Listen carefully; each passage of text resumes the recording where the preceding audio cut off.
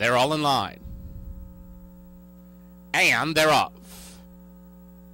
And it was a good start for Schrader Rules from the outside. Here comes Passion Reddy. Fast throw through from the inside post, and Passion Reddy's coming right on through with Saravasrhythm, and these two clear off from the field. So it's Passion Reddy inside of Saravasrhythm. Schrader Rules is third and three lengths off the lead. Angel Lisa just down on her inside. Stormy Lisa runs along in fifth. She's got five and a half to come. Starship Diva has room down at the rail, and she's advancing from mid pack. They're followed right now by the stablemates Elusive Code and First Mandate as they run up the back stretch. Mystic Seas moves up three wide going to the far turn. Then it's a break of seven further back. We come to Tranquil Bay, and the trailer is My Mom's Image. She's got about 18 lengths to make up as they wheel into the far turn. It's Passion Reddy and Jocelyn Kenny showing the way. Passion Reddy, three furlongs from the line and about two, two and a half clear. Schrader Rules is trying to close in from three wide. Saravasrhythm not doing enough at this point. Angel Lisa has lost a little bit of ground. Whip out on Starship Diva. Mystic Seas is trying to get involved, and it's Passion Reddy race to win or lose as they make the swing for home.